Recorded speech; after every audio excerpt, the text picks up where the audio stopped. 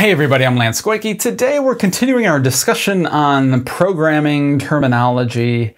Uh, yesterday we talked about the microcycle, which is basically the week of training. How are you going to structure your week of training? And I think you should probably uh, get an idea of that, but maybe not necessarily before outlining your entire uh, I'm going to use the word that we're going to talk about tomorrow, macrocycle, the whole bout of training. We'll define that a little bit more later. But the next big piece of training, uh, up from your one week, your microcycle, is called your mesocycle or your mesocycle. Okay, now this is what does your month of programming or your six weeks or your three weeks or whatever of programming look like? How long am I going to keep my microcycles like I am doing right now? How long am I going to try to attain one given adaptation? Now, um, this one, I think that's kind of that last point is the biggest way to describe this. It is all dedicated to building an adaptation and generally only one. There might be a secondary adaptation that you're not quite as concerned about. And you might have other exercises in there that help you keep some of the adaptations that you've had previously from previous mesocycles.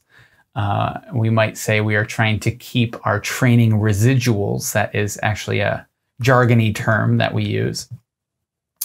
But there's only one main focus because, in general, these different adaptations compete with each other. If I build one, I'm probably going to steal from another one, or at least it's going to die out a little bit. So I need to be really particular about what I need and when I need it. So if I'm working towards a competition, I need to say, okay, what makes sense to train right now? If I'm just training someone who just wants to look a little bit better or be kind of fit, I just tell them what their mesocycles look like.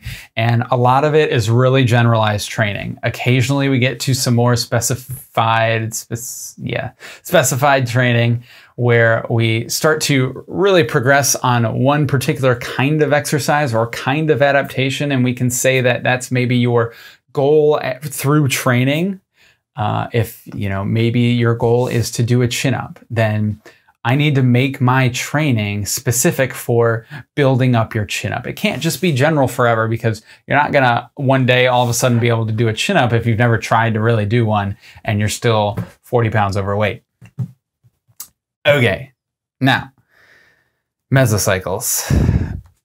Basically, there is one adaptation throughout the entire mesocycle and now throughout a macrocycle, which is the next big step, which we'll talk about tomorrow, throughout all that, we, we change our mesocycle. So generally people are writing programs in four to six week blocks because that's the amount of time that a given program will work. Now, if you get to week six and you're still making improvements and you're not really like bored and you don't need a change in programming, you can bring it out even further. You want to kind of milk out as much progress from the program as you possibly can uh, because that sets you up for longer term progress. Uh, I've got to, you know, again, we, we talk about our adaptation pyramid those you know more generalized training things are down here by my thumbs at the base of the pyramid. And then we work up to the top and we get to things like power and very specific uh, sporting activities for example.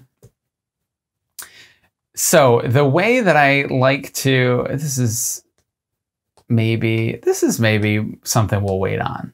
So each mesocycle has one particular adaptation and tomorrow what we're going to talk about is how should I structure those adaptations? How do I know which adaptation to search for next?